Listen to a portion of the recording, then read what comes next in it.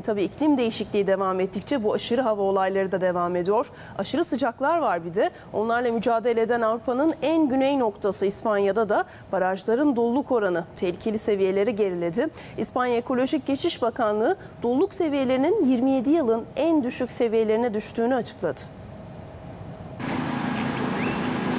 İklim krizinin etkilerini en yoğun hisseden Avrupa ülkelerinden İspanya'da orman yangınlarından sonra şimdi de kuraklık felaketi kapıyı çalıyor. İspanya Ekolojik Geçiş Bakanlığı barajların doluluk oranının son 27 yılın en düşük seviyesine gerilediğini duyurdu.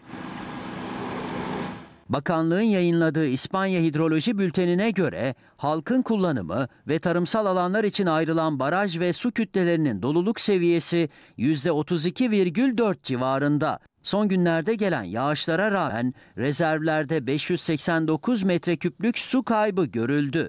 İspanya'da bu seviyeler son olarak 1995'te görülmüştü. O noktada doluluk oranları %30'a kadar düşmüştü.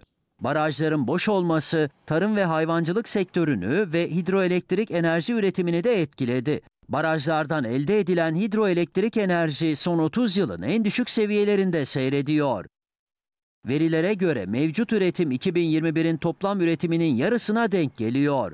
Bu düşüşü telafi etmek içinse santraller daha fazla fosil yakıt tüketmek zorunda kalıyor.